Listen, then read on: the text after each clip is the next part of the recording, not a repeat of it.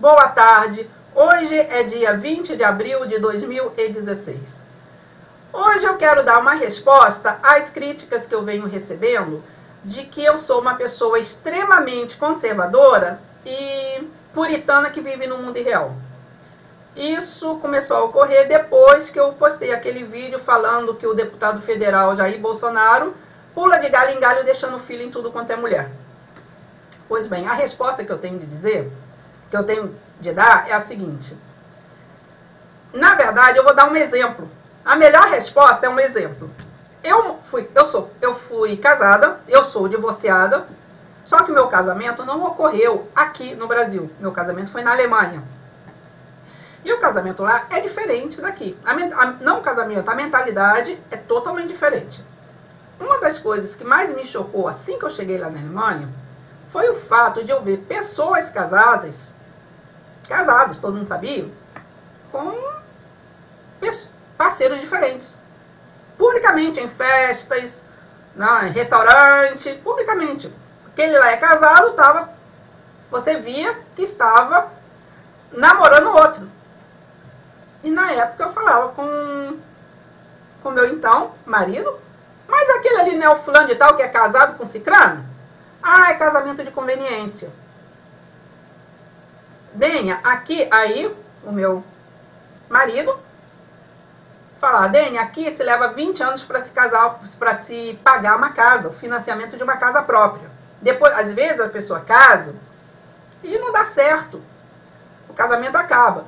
Se você divorciar, você tem que vender a casa e recomeçar tudo de novo. Tem muita gente que, para não vender a casa e recomeçar do zero, economizando dinheiro, mantém um casamento de conveniência, mas tem parceiros namorados. E todo mundo sabe. Isso aí, aqui na Alemanha, é comum. Todo mundo sabe.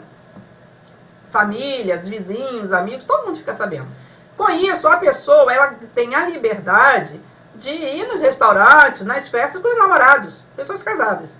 Inclusive, o namorado ou a namorada, ela vai na, na casa da pessoa, ela visita a pessoa na casa.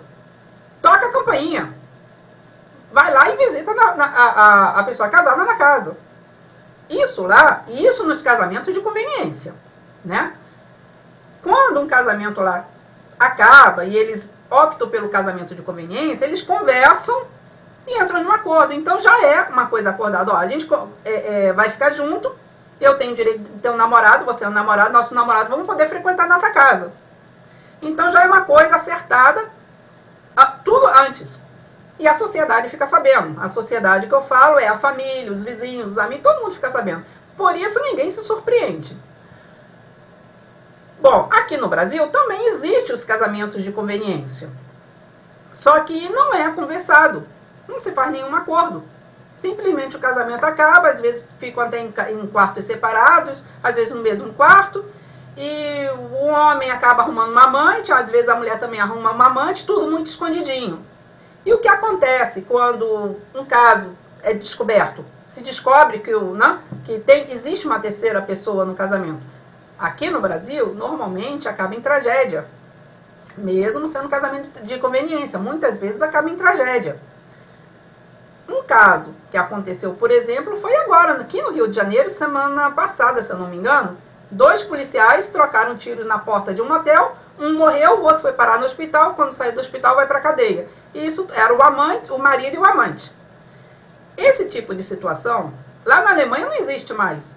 Porque quando o casal, eles optam pelo casamento de conveniência, em vez de se, de, de se divorciarem, já está acertado. Pode ter namorado ou não pode ter namorado, frequenta a casa, não frequenta a casa, já está tudo acertado, tudo conversado. Então, quando eu estive na Alemanha, quando eu morei lá, os dois primeiros anos eu não aceitava. Eu achava aquilo uma sem vergonhice. Até que um dia eu conversei com uma brasileira chamada Silvana. Estava na casa dela e conversando sobre esse assunto, eu falei, ah, Silvana, para mim isso aí é uma sem vergonhice. E ela me falou, foi ela que me deu esse argumento, Dênia, isso não é sem vergonhice não. Os alemães estão certos, nós, brasileiros, é que estamos errados. Veja bem, eles não mantêm casamento com conveniência aberto, com todo mundo sabendo, só por motivos financeiros não. Isso também evita-se as tragédias. Além deles não precisarem vender o patrimônio e dividir, no Brasil tem muito casamento de conveniência e quando é descoberto uma traição, acaba em tragédia. É facada, é tiro, é tudo. Aqui na Alemanha não existe isso, porque é tudo conversado, todo mundo sabe. Pensando por esse lado, realmente, realmente está com a razão. Eu parecer, Silvana, você sabe que eu nunca tinha pensado nisso? Você, pois é. Então é bom pelo lado financeiro e é bom também para se evitar as tragédias. Bom, conversei com a Silvana, essa conversa deve ter ocorrido uns 15 anos atrás, porque já tem 10 anos que eu estou no Brasil, eu morei 9 anos lá. Mas eu conheci a Silvana alguns anos depois. Então tem mais ou menos uns 15 anos, 15 a 6 anos que eu conversei com a Silvana. E nessa época eu tive o amadurecimento de compreender que realmente eles estavam certos. Eles que eu falo, os casais alemães que vivem em a sociedade alemã. Está certa nesse sentido, né? De, de ter o casamento de conveniência aberto, com toda a sociedade sabendo. E com direito de terem namorados e namoradas. Então, eu tive capacidade e amadurecimento para entender isso. E eu acho que se eu tive capacidade e amadurecimento para compreender isso, eu acho que eu não sou uma pessoa extremamente conservadora. Porque se eu fosse uma pessoa extremamente conservadora, eu jamais aceitaria isso. Jamais aceitaria. Eu não só aceitei, como achei que realmente estão certos. O errado é o brasileiro que fica se matando com tiro e facada quando descobre traição. Bom, então eu, a resposta que eu quero dar a essas críticas é essa. Uma pessoa que tem amadurecimento para compreender isso não é uma pessoa extremamente conservadora. Porque quando você fala extremamente conservadora, já dá um tom de doentio. Uma pessoa conservadora já, já quase que doentia. Não é isso. Não é? Tanto não é que eu tive o amadurecimento para compreender uma situação aberta dessa que muita gente aqui no Brasil possivelmente não entenderia. E quanto ao puritani, puritanismo, né, o, as críticas de que eu sou uma puritana que vive no mundo real, também não sou.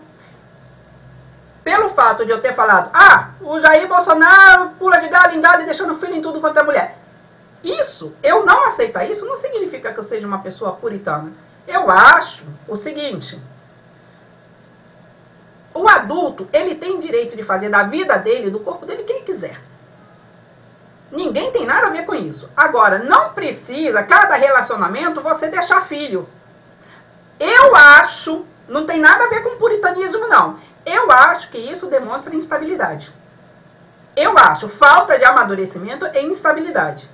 Então, para mim, isso não é puritanismo. Isso apenas eu acho que é a pessoa que deixa a filha em tudo, em tudo quanto é relacionamento. Tem um relacionamento, um filho, tem outro, um filho, tem outro, um filho. Eu acho que essa pessoa é instável. É a minha opinião. Então, finalizando o meu vídeo, eu queria esclarecer de que eu não sou uma pessoa extremamente conservadora, senão eu não aceitaria os casamentos de conveniências que alemão, da, da, do estilo alemão, eu não só aceito, aceitei, como eu acho até que eles têm razão em relação aos brasileiros, que ficam se esfaqueando e, e se matando com tiro quando descobrem traições. Aqui no Brasil o que mais tem é gente morrendo por motivo de ciúmes, né, por traição, tanto homem quanto mulher. Lá não existe isso. E Bom, enfim, era isso. E a pessoa aceitar isso é uma pessoa amadurecida, não é uma pessoa extremamente conservadora. A pessoa extremamente conservadora jamais aceitaria isso. Era essa a resposta que eu queria dar. A todos vocês, uma boa tarde.